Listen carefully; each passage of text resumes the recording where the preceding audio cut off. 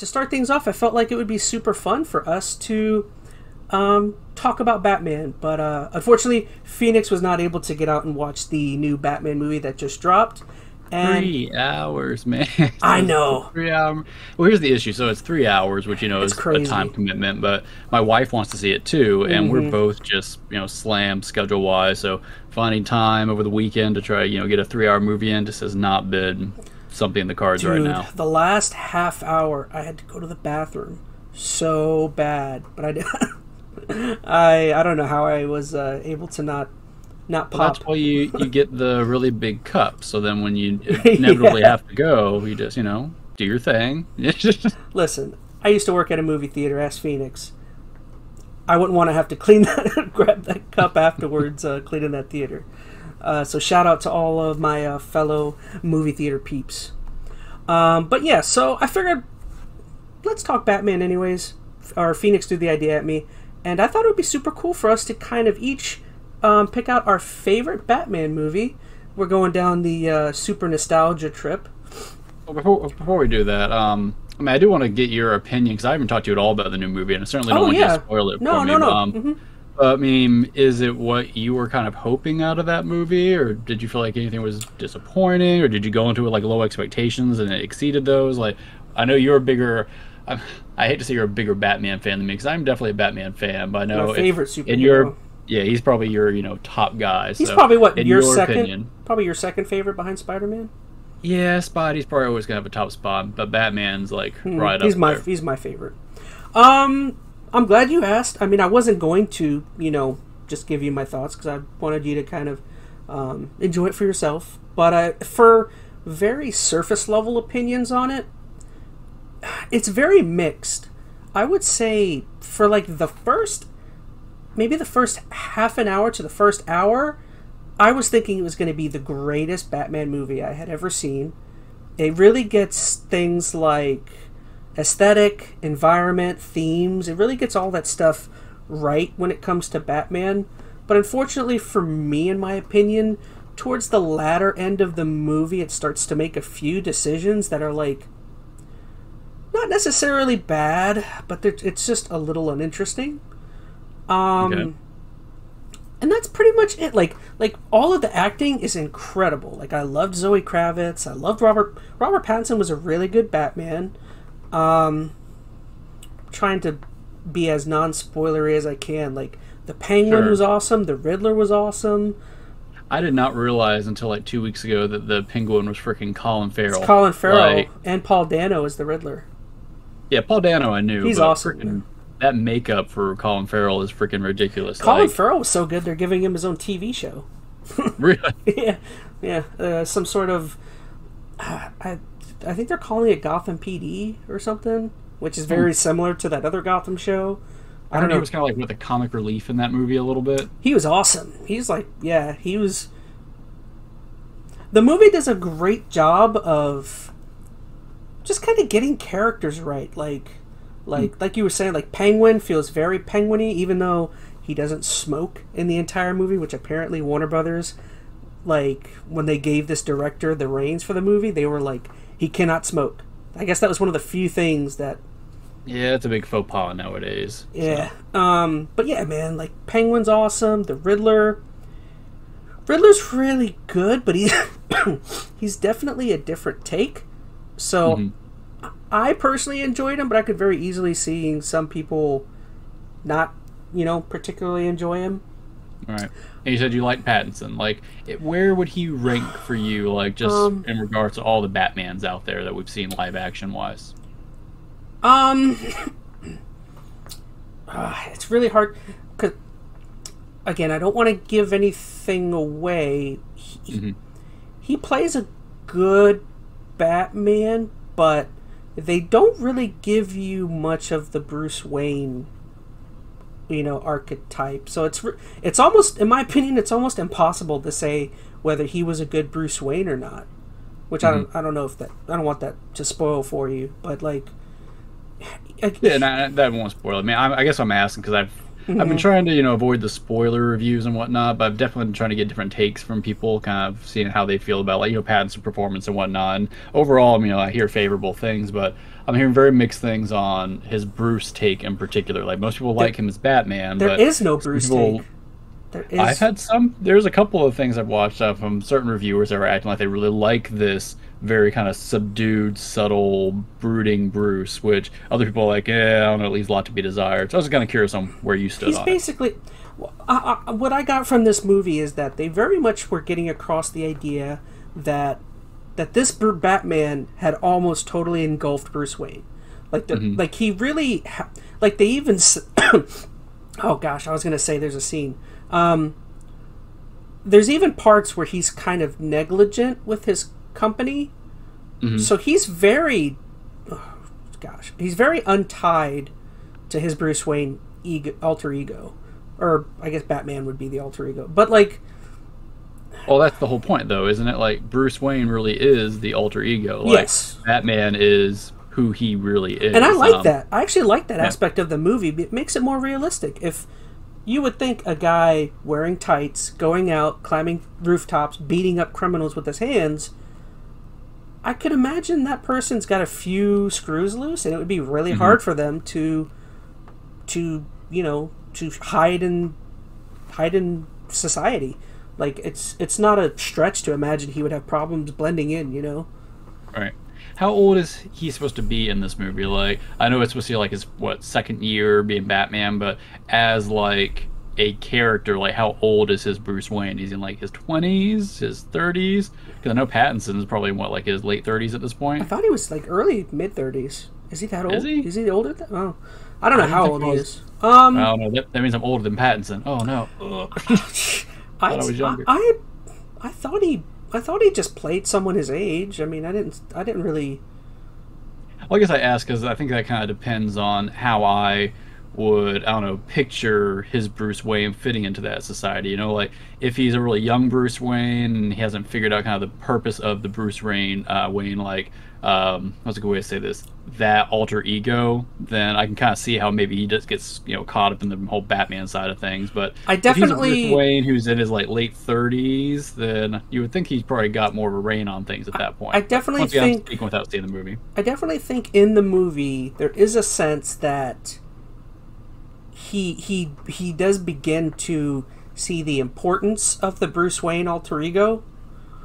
Um, so I do think he is probably fairly young. He, he he does seem like maybe he's meant to be like mid mid to late twenties, maybe early thirties. Yeah, he's Okay. not he's not meant to be an older person. He he does seem like someone who's learning on the on the on the you know on the move and and again they do give you the sense that he he sees how um um shoot I can't think of the word. He sees how vulnerable the the you know the Bruce Wayne aspect of him is. Right. But yeah, I don't know. Was there anything else? Sorry. No, Um, that's all good. As I know, it's probably hard for you to really get into details without you know edging into spoiler territory, and I don't want you to do that. Um, um, but so, how do you think he compares to like um, you know Christian Bale? Like, I'm assuming that's who the Batman you probably would have put up there, kind of like high-ranking Batman live action um, actors up till now. So, do you think he is better than Bale, less than Bale, equivalent? um, oh man, that's tough. I mean. I- Or is Bale not your, you know, Ba- runner-up? Bale is not my favorite Batman. Oh well, then who, who would that be? I I'm probably you know out on a loan on this. I always really liked Val Kilmer. I thought Val Kilmer was a fine Batman, and I even like Michael Um, Keaton. yeah. I think Keaton and well, never never mind. My favorite Batman is Kevin Conroy. But if we're talking live action Batman, um, I would say Keaton or, or Kilmer are like my favorites, and then just below that would be Bale. Bale was not a bad. I was kind of kind of indifferent on Bale. So Pattinson kind of ranks like like third or fourth then for you. Yeah, I mean he's definitely above Clooney. He's definitely above Ben Affleck. Um, oh. See, I okay, so I'm really gonna probably be in the minority for this. Um, although I think he's been in some of the worst Batman movies, I think my favorite Batman is probably Ben Affleck. Really? Like the more I think about like and part of it maybe it's just the aesthetic of it like, and that's probably i think it's, it's hard for me right now and not that i don't think i'm going to like the new movie but pattinson just i don't know he doesn't have for me look like batman i don't know he looks little too young and i think part of it is like okay if i could really think of this as okay it's just his first couple of years as batman he's going to you know you know age up and grow into this more you know mature batman that'd be one thing but Pattinson's always going to have that baby face. He's, mm-hmm. always going to seem like a young Batman, even when he's you know a veteran. So I think that's what I liked about Affleck was he had that. I mean, that experienced look, but I don't know. He had some. I don't know. He, I just think I think they're both they're both um they're both kind of stinted by the movies they were in. Like I feel like yeah, well, I'm not judging the movie right now. Like if we're talking about Batman movies, mm-hmm. um, nothing regarding Affleck would be on the table for me. I feel like I'm Affleck just looking purely at you know the performances that mm-hmm. you know they had no, to work with and the way they looked. Well, the reason why I don't put Affleck up towards my top is not because of him himself. It's because the movies he was in were not great. Like, and and, and you could say that's kind of unfair way of looking at Affleck. And maybe I'm looking at Pattinson more favorably because the movie he was in was just mm-hmm. better. Um, sure, I mean you have favor by association just because he was in a better, you know, you know, production. So I get that. Yeah, and that's kind of that's kind of the way I feel. Pattinson was fine. I mean, I more like the idea that just like they get they get the Batman character right. I think that's what makes it feel like he's a good mm-hmm. Batman. He's not like fantastic, but uh, he, they they get him right. They get his his, the- his thematically he's he's correct. One cool thing about the movie is um, I won't go into specifics, but they definitely make Batman more the world's greatest detective in this one, which I'm curious to see if you like that aspect or dislike it. Um, I mean, I if it plays out well, I'm going to like that because that's definitely a core part of you know Batman's character. Um, this Batman is definitely smarter than a lot of other Batmans. But um, so yeah. Uh, what else? Did you want to go straight into my movie? Yeah, I mean, I, I know you were kind of want to get into like what your favorite like overall Batman movie is. Mm-hmm. So um, yeah, go go to that. We can kind of branch off from there. Yeah. So yeah, um, I'm actually really excited to talk about this movie. I feel like it's a Batman movie that a lot of people overlook, mainly because it is animated. I feel like a, a lot of people look over a a lot of the DC animated films. And it's the same thing with the Marvel stuff, right? Like, I would say a lot of those mov- movies get looked over. Oh, certain movies I feel like get looked over. Like, did you ever get to see, uh, what was it, um, Doctor Strange? Did you ever see the Doctor Strange animated movie? I did. Um, I tell you, the Marvel animated doesn't usually do it for me as much. Like they're usually fine, but I mean, I would definitely lean on if we're talking about animated um, feature length films, mm-hmm. then um, the DC universe by far has the better ones. Like, uh, you're right. I know where you're going with your animated series one, but even just like some of the like more standalone ones, like was it Under the Red Hood? I thought was really mm-hmm. good. That was good. Um, I mean, there's a bunch of them. Um, oh man, I haven't watched um, the newest ones, at The Long Halloween. Have you seen that yet? No, no. I've heard pretty good things about that. I liked the one they did recently. Um, it was what Batman versus the Ninja Turtles or something. I didn't get to watch that one. That, that was, was a comic, I think. Yeah, yeah, it was based off one of the old comics. Um, but yeah, I mean, I like where DC does with the animated, usually more so than a lot of their, you know, actual live action stuff. So I can definitely get behind that. But I mean, most people, I mean, they still have the stigma that an animated film is a children's film or children's kind of a form of entertainment, which mm-hmm. I, I think that uh, paradigm has shifted a lot over the past 10, 15 years or so, but you still got that stigma. And I think best, especially at the time that, I don't know if you said it yet, do, well, go, go into your movie. I'm, yeah. I'm going to jump ahead if I do. No, I guess just some basic info on it. I mean, the reason why this movie is so good is like as you were saying is a lot of uh, its ties to other fantastic um, series as the animated series was. I mean, I think me and you would agree that that's a fantastic TV show. One of the all-time. I don't think you officially said the name of the movie.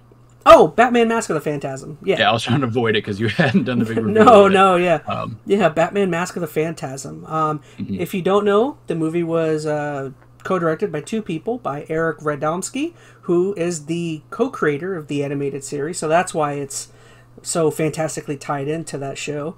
Um, it was also directed by Bruce Timm, who's basically, from what I've read and understand, he's basically one of the major Mm-hmm. creators of the entire DC animated universe, Yep. which is kind of cool.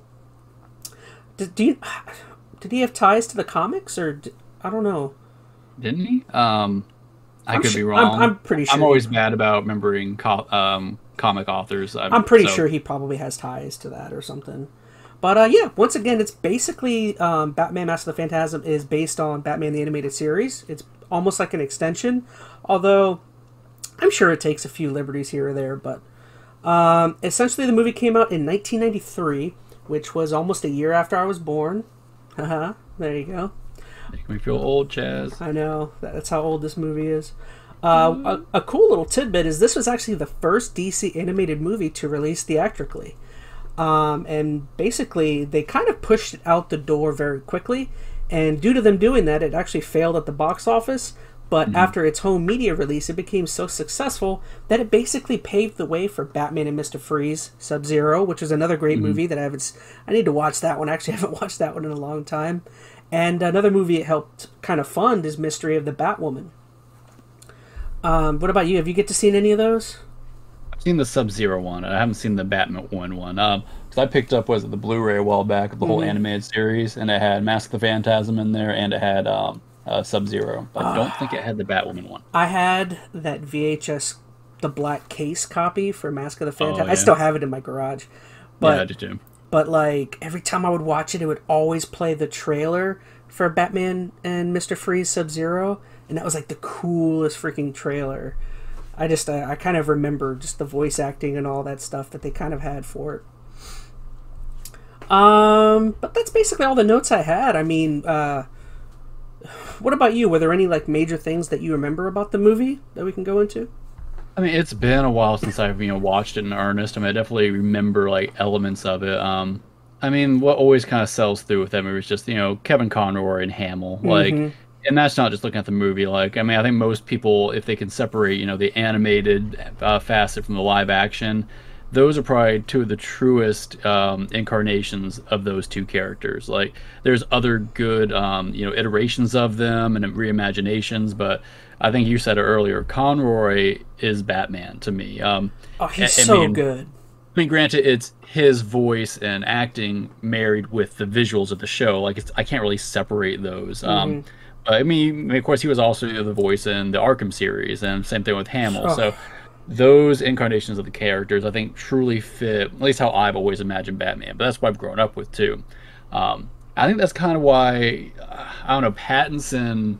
mm, It's hard for me to like really feel attached to really any Batman. Like there's an aesthetic to it and just like a personality to it. None of them are Conroy. I mean, to be fair, no one's ever gonna be Conroy, but no one even really feels like it gets close to me. I feel like at least like Affleck, from a stylistic standpoint, kind of had that look. You know, he kind of looked like the animated series, a little thicker. Um, can see He kind of moved a little more like the um, Arkham Batman. And honestly, I liked his portrayal of both Batman and Bruce. He got terrible material, but that was probably the closest live action Batman I've seen that harkens back to the Kevin Conroy days from an aesthetic. Once again, the way they treated those characters completely different. Um, but that's why I base almost every Batman thing off of now is does it have those animated series vibes? Can I picture that Kevin Conroy Batman on this new actor? And honestly, that's probably very unfair of me. I probably need to be a little more open as far as letting these actors kind of do their own thing with it and reimagine the character. But that's what I grew up with, man. I was a kid in the '90s watching animated series every afternoon. Um, so I don't know. I, I've, And then Hamill's great. Yeah, I, I feel like as you were saying, the reason why this movie kind of, I mean, truly, in my opinion, the standout for this movie is Batman and Bruce Wayne. Mm-hmm. It really nails, it it nails not just of that character, but it nails like showing the, the the different faces of each character in the movie, like like Kevin Conroy, like perfectly balanced, like the scenes where he's playing Bruce the billionaire playboy, and then and then there's other scenes where he's playing like the tortured and grieving son. Uh, he's I feel like that was one of the few times like I felt like Bruce Wayne wasn't always the alter ego. Like if you think about it in most kind of you know incarnations, especially nowadays, like Bruce Wayne once again. That's the mask, right? Batman's the true uh, character, and mm-hmm. the Bruce Wayne's the alter ego. But in that movie, it showed him trying to actually be Bruce Wayne. I mean, you know, stepping out out of the Dude, Batman light a little a, bit. There's a scene that's so incredible every time I watch it. There's a scene where um, Bruce is, you know, falling head over heels over Andrea Beaumont, who's who. Mm-hmm. Uh, spoilers, sorry guys. She plays the Phantasm in the movie. Oh no, no, I can't watch it. spoilers for uh, almost thirty year. Jeez, that movie's almost thirty years old. Um, uh, my heart. I know. Um, but yeah, it. There's a scene where where you know Bruce, Bruce, you know, of course, he makes this promise to his parents that um, I don't know exactly what the promise was, but I'm guessing it has something to do with he's gonna fight crime and you know, you know, gain, you know, prevent other other children or other people from having to go through what he's been been put through. And there's this incredible scene where like, you know, he falls heads over heels with Andrea Beaumont, and he's like at their um. Yeah, the grave. He's right? at the graveyard, yeah, and he's like at their tombstone, like in the rain on his knees, like begging them to like why can't i be happy yeah or that he says um he says i, I want to fulfill your promise but something happened that i wasn't expecting i i, I became happy you know mm-hmm. and, and it's just like a really like heartfelt like like scene of this guy who has this thing that he knows he needs to do but you know is his happiness something important to him or something that he should seek out? And is it like is is he is he letting down his parents? And like it's an incredible scene. And then Andrea um, or he says uh, he says just give me a you know uh, give me a message or something. And she's like they already did. Or, or she's like I'm your message you know it's okay to let go or something. And mm. like scenes like that are just like fr- so like, emotional, like so, so emotional it's the I will say like like if you dislike the brooding like just emo sadness of Batman, this is probably like top tier emo Batman. He's just like but but the good thing is is oh. it's it's not just that though. They're good.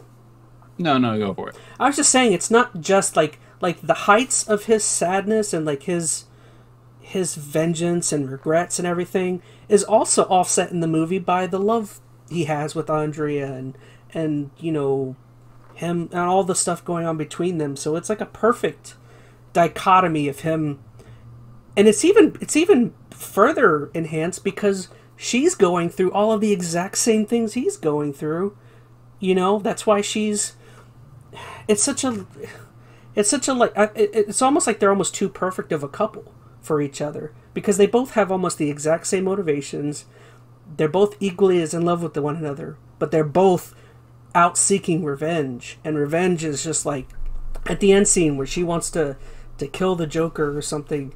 He's like, Andrea, revenge, revenge won't do this, and and she's like, it's too late for me, and it, and it sounds just like it's coming out of his mouth, you know, mm-hmm. and and in a way, in in a way that's really cool because it takes the whole idea of Batman's revenge. You know, he's always vengeance. I am vengeance. You know, and it kind of yeah, she kind of is what Batman would have been if you know he didn't have the same yeah. code, the same restrictions. Mm-hmm. It's he basically is looking at a mirror or you know a different you know path that he could have taken and how he kind of pulled away from that. But it's heartbreaking to kind of see how that all kind of played out. That really he can't ever be happy based upon mm-hmm. The life and the responsibilities got, got to live up to. And some of the best superhero movies are built on that. Like a lot of Spider-Man stories, same thing. Like there, he tries to you know balance his love life and his friends and all this other stuff to have both worlds and it's kind of realizing that you can't always have both worlds. Batman definitely takes that more extreme where he just gives it pretty much everything but mm-hmm. Batman. But um, still, it's always fun to see that dichotomy. And what's really cool in this movie is that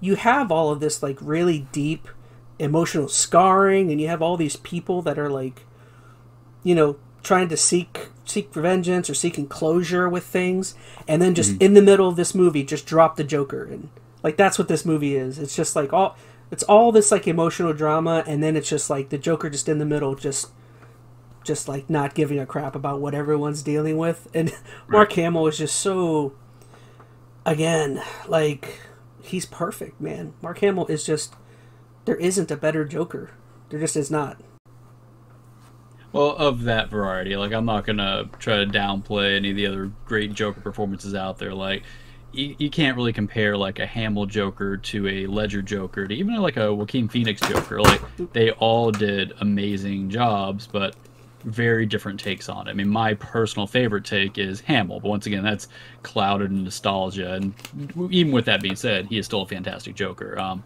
I just think I, I just think what it's it's not necessarily the difference in acting. I mean, obviously. Heath Ledger is a great actor. Obviously, Jack Nicholson is a great. They're different characters. Like, yeah they are not the same Joker. Just like not every Batman is the same Batman. Like the Bale Batman is not the animated series Batman. That doesn't make him a bad Batman. Just makes him a different Batman. Mm. They were mm. all still acted well. So I, you know, trying to argue which one is better is often a moot point. Like you're gonna have to you know have your preferences on what kind of you know universe you like Batman in versus what kind of you know stylistic preferences you have. Um, and for me, it's always gonna kind of come back to that animated series stuff, and a lot of it, um, I'll say it again, it's nostalgia. I grew up with it, but there was just an innate quality and just passion to what that team did, Hamill and Conroy and all those guys. Mm-hmm. Um, so I, I, have a question for you um, before you get too far into anything else. So yeah. you kind of mentioned it earlier that I mean one of the I guess drawbacks to Mask of the Phantasm is, eh, I mean, drawback such a bad way to say this because in many ways this was also the boon to it. But the fact that it was animated, right? Mm-hmm. Um, what if they could release that movie, even if they released it now, but in a live action format?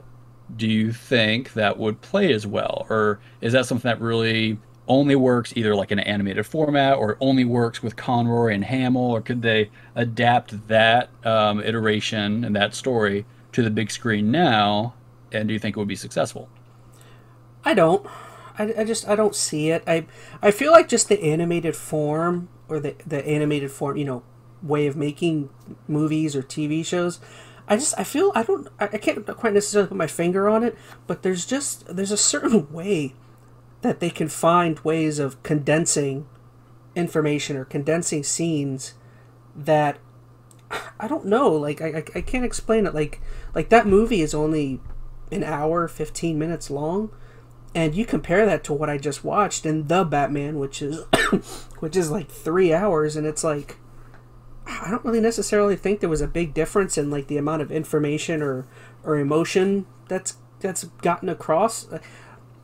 I just I, I think that's what the benefit of animated form is is that you can just you can do so much more with that and and let's be honest it I mean, comics uh, comics are yeah. closer to, to cartoons than they are real life, so maybe it's easier to get across things from comics to animated form. You know.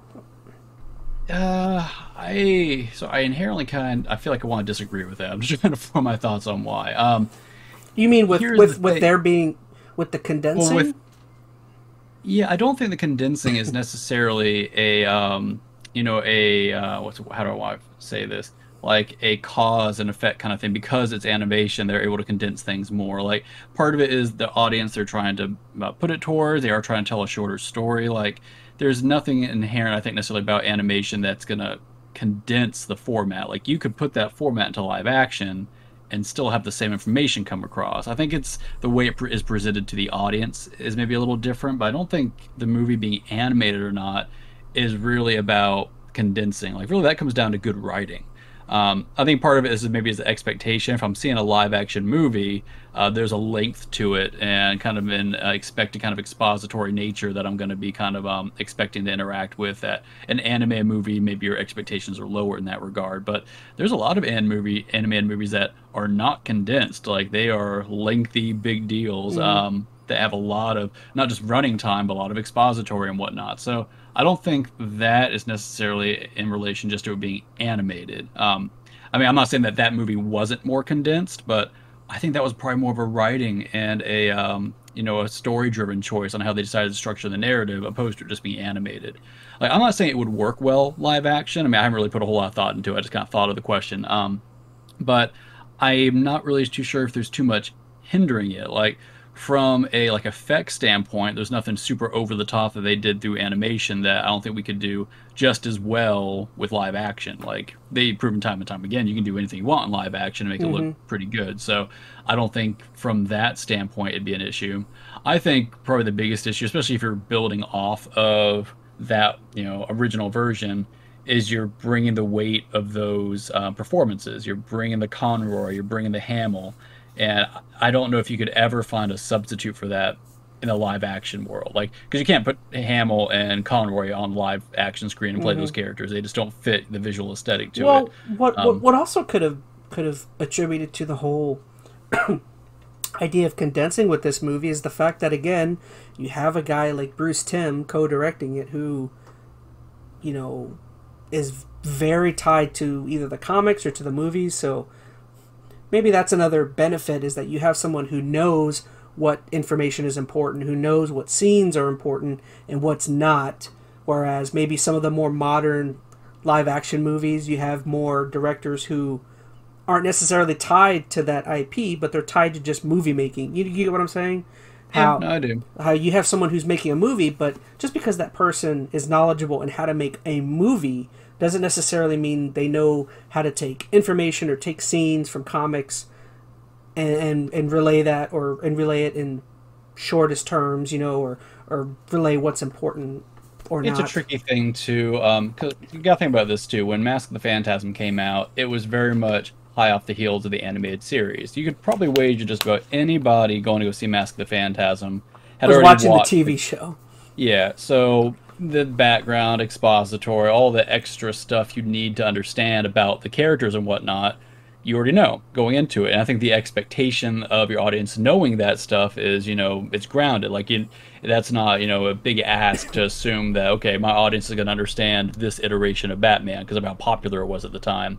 But like when you look at, you know, the brand new The Batman that just came out, they're trying to rebuild a whole new iter- like incarnation of this character in this world so they need more time to go ahead and flesh that out. So I don't know. There's a lot that goes into it. Uh, I'm, I haven't watched Once Again Mask and the Phantasm in many, many years, so I, I, can't really speak to exactly how I feel the pacing would be now, looking back on it.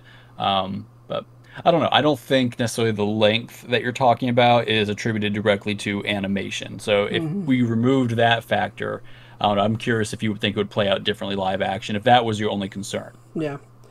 Uh, but, but, but, let's see. I mean, I guess one more thing is uh, I kind of wanted to just ex- expound a little bit on the Joker's kind of part in the movie. Like, mm. it's so kind of neat how well they incorporate him into the movie. Because it isn't just, as I was saying before, where they just drop him in. He literally, all he literally does have a tie to the plot and story. And it's like, it's so cool how they kind of do it because they do this whole scene where um, essentially, again, spoilers, the Joker in the movie basically, in his previous life, basically was a henchman for like this mob boss who is, what's his name? I have his name right here. He was a Sal the Wheezer Valestra, or Sal Salvatore, or whatever. But yeah, he, he basically was. They, what's cool is that they don't really give you the background knowledge, or they don't really explain how he became the Joker, but they kind of leave that to you where it's like, well, maybe he fell into a pit of whatever that stuff was, you know, like however he lost his mind. But I, like I said, it's just it's really cool. There's a whole scene where like Bruce Wayne and Alfred are looking at pictures, old pictures of the the mob boss, and you see this weird guy with this weird smile in the background, and and Batman picks up this little red pen or pencil and draws like a big smiley face, and the Joker's laugh, Mark Hamill's laugh comes into frame, or and it's like the, just the way they kind of like have uh, scenes framed and, and set up. It's really cool. Um, ba, ba, ba, let's see. But basically, I guess how the Joker gets involved is um, is because this phantasm that shows up in the city starts uh, goes around and starts killing all of these mob bosses who happen to be tied into this old gang. Joker basically gets involved because once again they're members of his old gang.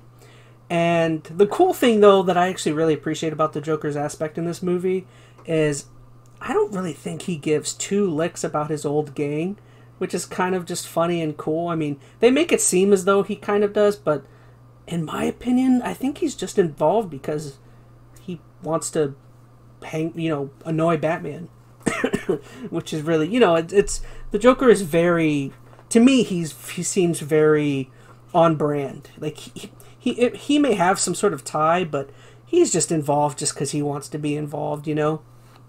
Yeah, well, that's always my favorite incarnation of um, Joker. Is like he's not about running, you know, a big organization necessarily. It's all kind of a means to an end kind of thing. Like Mhm. his deal is always going to be messing with Batman. So as long as that's kind of at the core of his character, you know, kind of being flippant about everybody else, you know, kind of fits his his nature.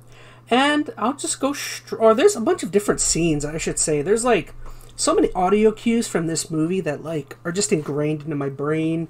Every time the Phantasm shows up to kill one of the mob bosses, all you hear is "Your angel of death awaits, Chuckie Sol," or "Your angel of death awaits, Buzz Bronski," which is that awesome scene in the uh, in the graveyard where she she kills him while he's like in in the pit. She kills him with the tombstone and there's so many just cool audio cues uh yeah the angel of death awaits. There's little cues that i just like remember from this movie like batman stepping on the door that's sitting on this henchman. And i always just i hear that sound and there's the sound of Chuckie Sol scream as his car's flying through the air and i don't know. Just like just like the way they did audio is just absolutely perfect Yeah, yeah, and I mean, I like this movie had you know a darker tone. Like it wasn't exactly you know a rated R animated movie or anything, but it definitely took a darker turn, even above and beyond where the animated series went. The animated series is already you know fairly dark in a lot of as- aspects, so nice to see them take that a little bit further for the um you know the feature length. Yeah, and I guess just a few couple other things. I I really like the scene where Batman, um, where Bruce Wayne is is uh walking down the street with Andrea, and he's like has be- started to become a vigilante, but not quite the Batman yet. And he sees this old guy getting mugged by this like group of three guys, and it's just an incredible scene of like Bruce Wayne being heroic, but ultimately getting his behind handed to him because he gets hit with a baseball bat and the bad guys still get away. And there's mm-hmm. there's just like a whole sense of like he can do more and stuff. Oh and he like superman punches this guy that's on a bike and it's like an incredible scene. Just awesome. Um i guess just the last thing i wanted to talk about with this movie is overall its ending man. Its ending is just so freaking good. Like one thing i really appreciate and i wrote this in my notes because i wanted to make sure i wrote it or i talked about it and is the uh, do you remember the future world in the movie? Like kind of like the weird futuristic theme Yeah. park that's in it? Mhm.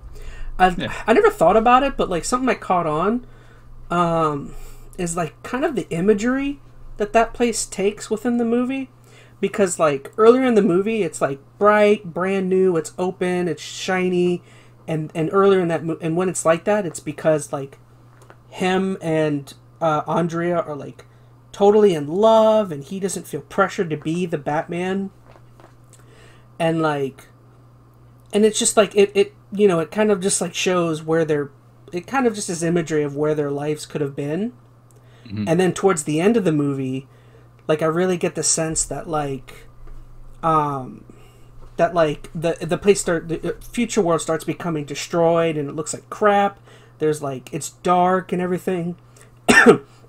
And i get the very much the sense that the imagery just like shows kind of where their lives are going or what you know where their futures are ending up in, essentially with like revenge hate loss despair taking hold i don't know i just kind of really like that imagery Yeah, no, no, I agree. I mean, I haven't seen those scenes in a while. You could also argue, I suppose, that um, because they're kind of ending up in that same location, it's kind of how, like, you know, holding on to the past in a way. I mean, that that's the whole thing. Oh, like, that's she true, can't yeah. give up what she was. There's no way to move beyond that, and how, like, that's kind of like tainting her future now, and that's I mean how it's kind of crumbling around her because like the whole place like exploded, didn't it? Um, Mhm, yeah yeah so um i don't know i mean there's a lot of i'm sure imagery and stuff kind of taking place there that um once again i haven't watched it long enough to probably pick up on at this point but um i mean that movie always had a great cinematic style and just in general the imagery they used throughout the entire series was always pretty poignant so no Dude, definitely I, well I freaking love the fight scene with Joker in the miniature Gotham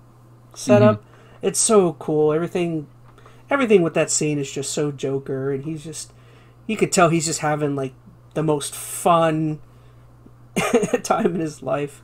Um, and I guess I just wanted to just mention the very last scene, which I feel like is just such an awesome closing, just section. It's just such a cool way of ending it for Batman and Andrea. Like they both have a really cool, like bittersweet ending with both of them kind of just, they both kind of just know they're broken, and that they're mm-hmm. just kind of destined to be alone. And uh, like a really cool thing is just Andrea's like final quote where um she's like on the she's like on the edge of this boat and this guy because you know she she like runs away. But let her um and this guy comes up to her and he's just like i'm sorry. Do you want to or he says hey how are you? and then says oh i'm sorry. Do you want to be alone? And she just kind of like stares off into the water and just says i am. And he's just like oh okay.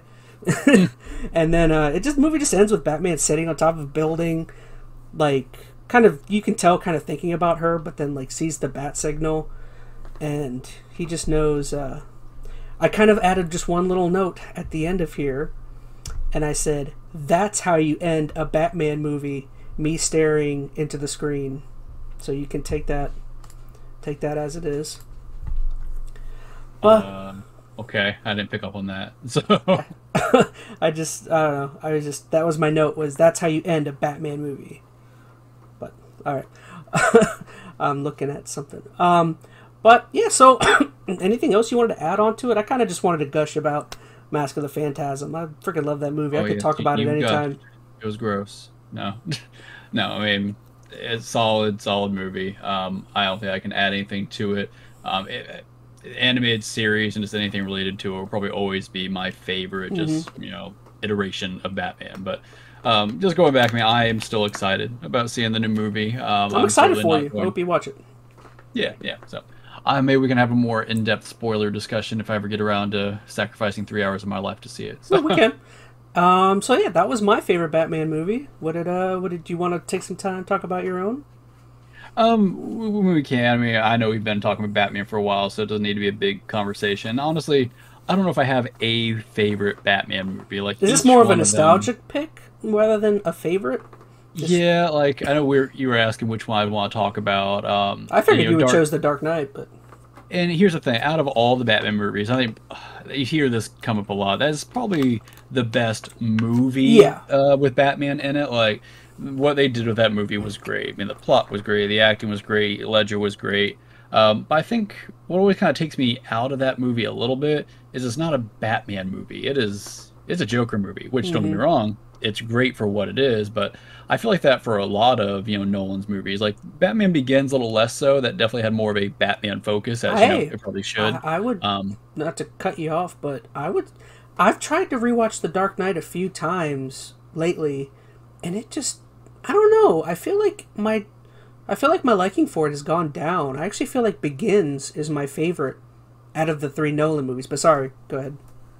Oh no, um, and I don't disagree with that. Um, I, I, don't know. I go back and forth on the Nolan, you know, trilogy. The third one definitely, you know, I'd put down at the lower end. But as far as Begins versus Dark Knight, I kind of go back in between. But even with that said, like I don't know if there's any one thing about those movies that are my favorite Batman anything besides just the Joker being really mm-hmm. good in those movies. Like, um, I don't know. Like I, I'm not a huge fan of Bale as Batman. He was fine. Um, he was just fine. Bruce, yeah. Like his Bruce Wayne was okay. Um, his Batman was just kind of there, like he was a suit more than anything else. Mm-hmm. Uh, I mean, he was cool to watch, and I like what they did with you know the evolution of the character and his suit and all that kind of stuff. But I don't know, I didn't care about Bale a whole amount. Um, and I guess for me, if I'm thinking about any of the other Batman movies out there, uh, once again, it's going back to nostalgia because you know I was like watching this movie at the same time I was watching animated series, mm-hmm. Batman Forever, um, which people honestly I feel like people have taken a little more favorably over recent years. I mean, there was definitely a um, big you know a push a while back that this movie is garbage, just kind of fall into that. Uh, that was still Schumacher, wasn't it? Mm-hmm. Uh, that was like yeah. his, that was his, his first, first one. one. Yeah, his, his first one. He did that in um, Robin and you know there's definitely plenty of uh, Schumacher all over that movie. Um, it wasn't quite as um, oh man, I'm trying to think of the politest way to say this.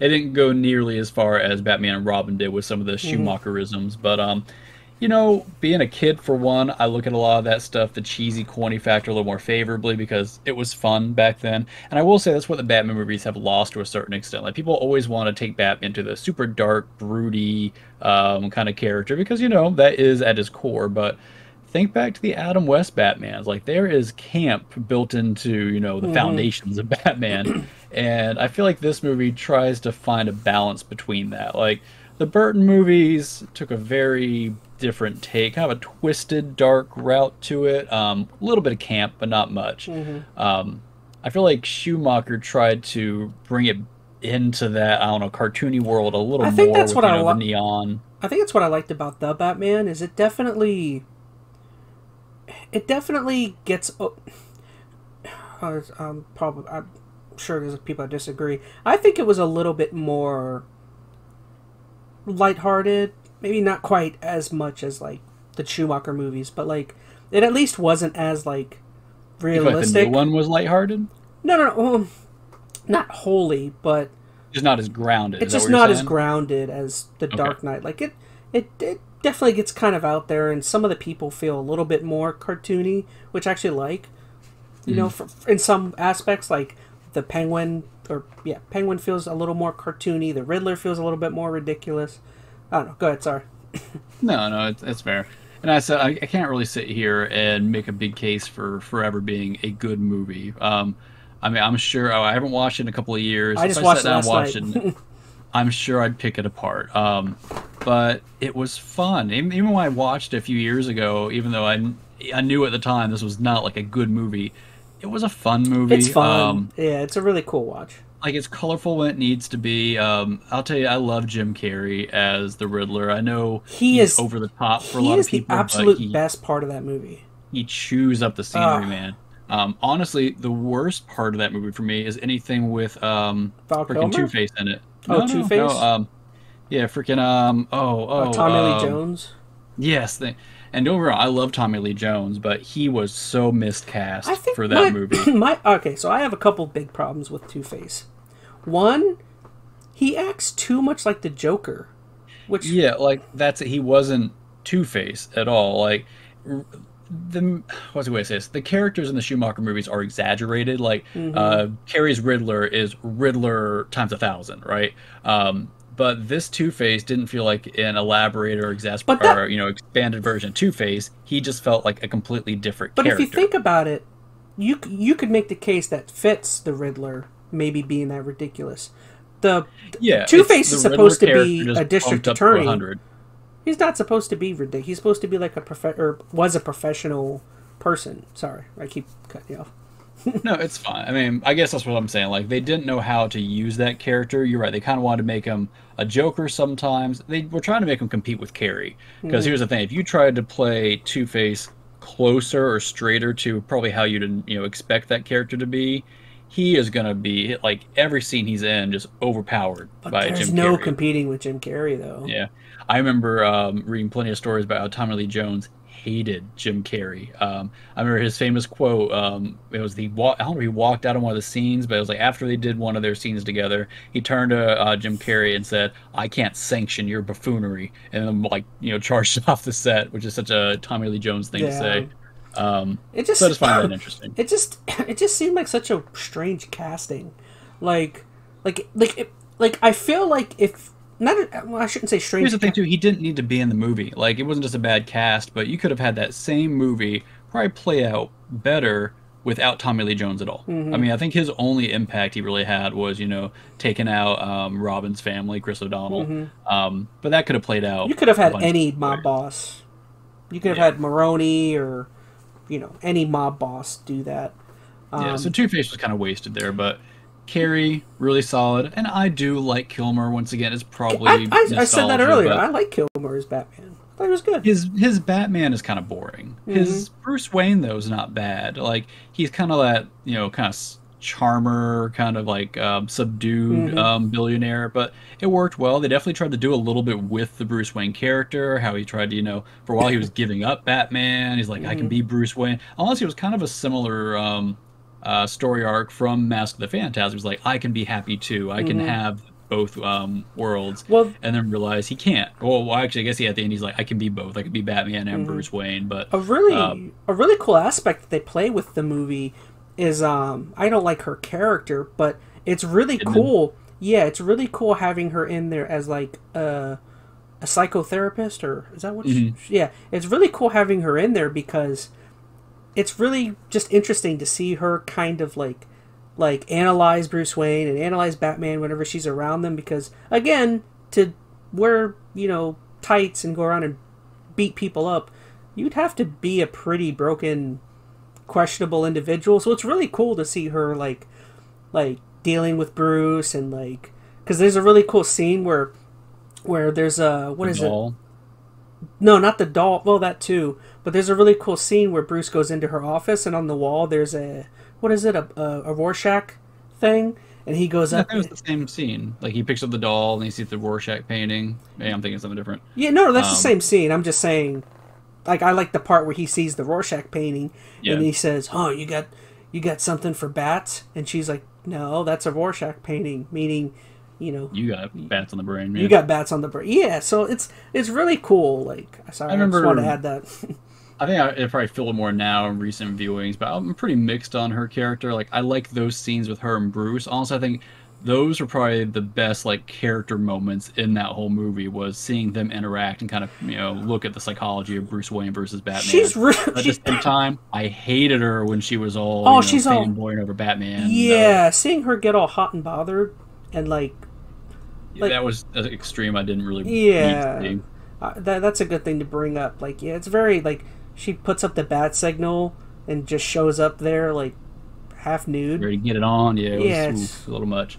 Um, so yeah, I mean that movie once again, I can't sit here and argue it was a good movie. There was plenty of miscasting and like weird character arcs in there, but I, you know, I will always say I think it was fun. It was definitely a movie that was made to sell toys for sure because I had most of them as a You kid. know what? so- One of my I just um, thought about it. Something I didn't like about it is I I very much disliked the the, the Chris O'Donnell character. I know he's Robin, but like t- t- Bruce Wayne, what what are you? He adopted like a thirty year old man. Like what? Yeah, I mean they were. Yeah, I mean I didn't. I don't hate Chris O'Donnell as Robin. Um, I mean, he he was fine for that world, but yeah, it was definitely a very older take for Robin. Like it didn't feel like um, uh, the Dick Grayson Robin, even though I know that's No. one he was playing. Mhm. Uh, it probably felt like, oh man, what was the um, not Jason Todd? There's Jason um, Todd, Richard, Richard uh, something. Oh, there's another one. You don't have to try and remember.